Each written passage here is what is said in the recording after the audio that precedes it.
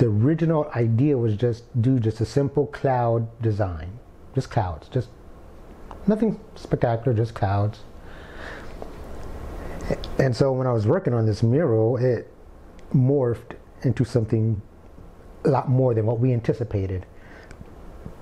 For one, I don't work in oil cutter, uh, oil paints. I never work in color, period. I'm a pen and ink kind of guy. I'm an illustrator. And the more I kept going with it, it just started, the clouds started forming. Then I started seeing colors. And then before I knew it, I created a fish.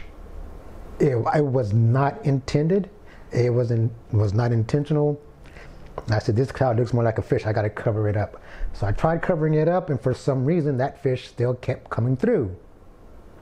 Then the Holy Spirit has a way of speaking to you because all of this project is spirit led.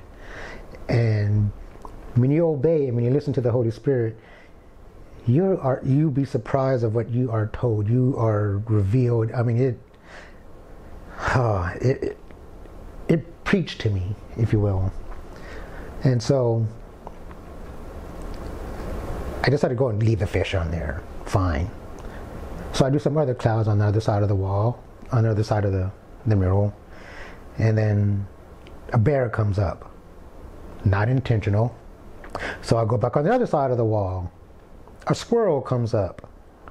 Um, oh man, what is happening? So I just go with the flow of it. Just let it naturally flow. And before I knew it, buffaloes, horses, turtles, a shark, a great white shark just popped up. But it was like you it was like the Holy Spirit, you know the tools, you know the technique. I will provide the images. Okay? And we just let it flow.